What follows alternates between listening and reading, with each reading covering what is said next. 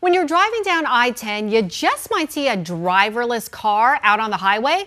Don't be alarmed. It's just a Waymo. Waymo is now the first robo taxi to offer driverless rides on freeways in the U.S. Previously, Waymo cars stuck to city and side streets. I'm sure you've seen many of them around town. Well, now it's offering rides on freeways in Phoenix, the San Francisco Bay Area, and even L.A. The company says its cars will travel up to the speed limit on freeways, but may at times go slightly faster for safety.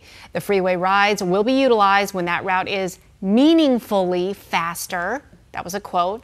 We asked people what they think of driverless cars on our freeways. Definitely a little scary. I, uh, I don't really love them on our normal roads, just driving around, uh, so I can't really imagine them on the highway.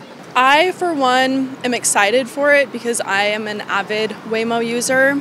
Uh, I I appreciate that it can now go on the freeway to make travel times a little bit easier. However, I hope that Waymo and Google um, and Symbiotic, people who make the microchips for Waymo, have some precautions in place to make sure that it's still safe for Phoenix.